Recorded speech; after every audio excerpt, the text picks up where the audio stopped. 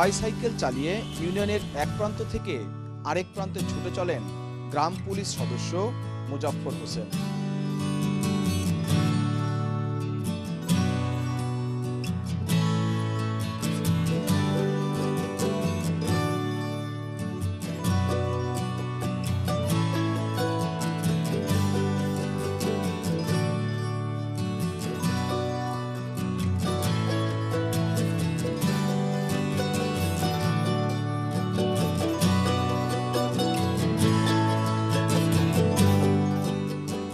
সাধারণ মানুষ থেকে শুরু করে ইউপি চেয়ারম্যান আর থানা পুলিশকে নানা কাজে সহযোগিতা করতে হয় তাকে।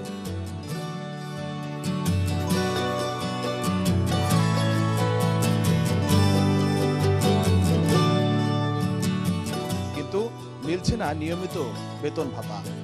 পরিবার পরিজন নিয়ে দিন কাটছে কষ্টে।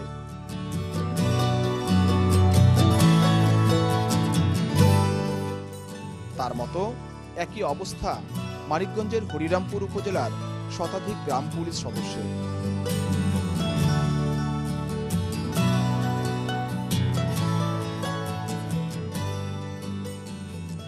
আর, একজন লোক যদি এখন বলে যে অমুক, অমুকখানে কেউ বিষ বিষ খেয়ে মারা গেছে, কেউ ফাঁস নিয়ে মারা গেছে, ওই রাসটা মনে করেন যে যদি মনে করেন সারা রাত্রি ওখানে থাকে, তাহলে ওখানেই আমাদের থাকতে হবে। ওই রাসের কাছেই আমাদের থাকতে হবে। আমরা মনে করেন যে ওই রাস পোস্টমর্টম করতে নিলে পরে আমাদের ধৈর্য উঠান লাগে। আবার অনেক সময় আমাদের ডুমগড়ও যেতে হয়। যেন একজন অফিসার এসে বলল, থানার এসে সাহেব এসে বলল যে, তোমাদের একজন যেতে হবে। দেখা গেল যে তার তাদের সাথে আমাদের যাওয়া লাগে। আমাদের ওখানেও ধরা ধরা ছোঁয়া করে। কিন্তু আসলে আমরা পারিশ্রমিক পাচ্ছি না। আমাদের ছেলে মেয়ে নিয়ে খুব কষ্টে আমাদের দিন দিন যাপন করতে হচ্ছে। আমাদের একটাই মাননীয় প্রধানমন্ত্রীর কাছে অনুরোধ যে আমাদেরকে যেমন যে যেহেতু যেভাবে পরিশ্রমগুলো করা লাগে পরিশ্রম আমরা আরও করব। কিন্তু আমাদের পারিশ্রমিকটা জানি ঠিক মতন দেন। এটাই আমার সরকারের গ্রাম পুলিশ সদস্যদের মধ্যে দফাদারের সাত হাজার ও মহল্লাদারের বেতন সাড়ে ছয় হাজার টাকা। বেতনের অর্ধেক সরকারি কোষাগার থেকে বাকি অর্ধেক আসে উপজেলা রাজস্ব খাত থেকে। কিন্তু গত দুই বছর ধরে বকেয়া পড়েছে পরিষদ অংশের সেই আমরা গ্রাম পুলিশে চাকরি করি এবং আমার বেতন সাড়ে ছয় হাজার টাকা এবং দফাদারের হলো সাত হাজার টাকা। আমরা দীর্ঘদিন যাবৎ বেতন আমাকে দিয়ে আসছে অর্ধেক বেতন। আমাকে ডিউটি চব্বিশ ঘন্টায় ডিউটি হয়। যখন যে, যখন ডাকে, তখনই আমাকে যায় কাজ কাজকর্ম করতে হয়। এবং এই করোনা আইসে করোনার মধ্যে মনে করছেন আমাকে দিন রাত আমাকে পরিশ্রম করতে হয়েছে। মানে কি কারণে আমরা বিলি করে এই সংসার নিয়ে কীভাবে চলি আমরা? আর আমরা কী খাই? মাথায় তেল থাকে না পেটে ভাত থাকে না আমাদের চব্বিশ ঘন্টায় কাজ করতে হয়। মনে করেন আমরা মাঠে আমরা যে কোনো জায়গায় কাজ দিতে আমরা কাজ করতেছি অথচ আমরা শ্রমের মূল্য পাই না। এবং আমাদের বাচ্চা কাচ্চা নিয়ে আমরা খুবই কষ্ট করে আছি। কয়েকবার ইউনো স্যার এবং চেয়ারম্যান সাহেবের কাছে আসা হয়েছে উপজেলা চেয়ারম্যান সাহেবের কাছে আসা হয়েছে।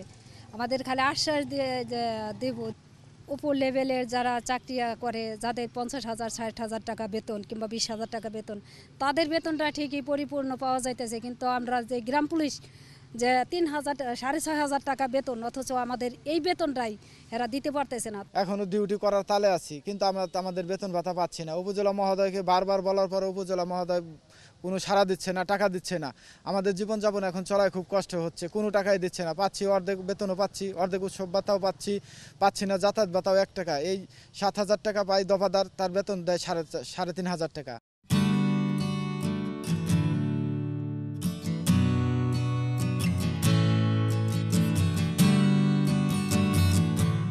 উপজেলা নির্বাহী কর্মকর্তা বলছেন, রাজস্ব তহবিলে টাকা না থাকায় পরিশোধ করা যাচ্ছে না। গ্রাম পুলিশদের পাওনা। জানাইছি যে আমাদের উপজেলা পরিষদের ইনকাম আয় থাকলে তাদের বেতন দেওয়ার কোনো সমস্যা আমাদের নাই।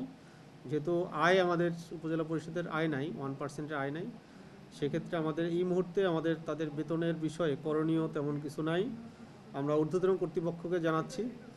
বিশেষ করে পরে এছাড়া আমাদের ইউনিয়ন পরিষদের সম্মানিত চেয়ারম্যানদেরকেও আমরা জানাব যে তাদের ইউনিয়ন পরিষদের যেন আয় তারা, তাদের যে ট্যাক্স কালেকশন বা অন্য অন্য যে আয়গুলো আছে, সেটা তারা ইউনিয়ন পরিষদ তাদের ইনকামটা আয়টা একটু বাড়ায় নেয়। এমনিতেই অল্প বেতনে চাকরি, তার উপর দুই বছর বেতন বন্ধ থাকায় দেয়ালে পিঠ ঠেকেছে।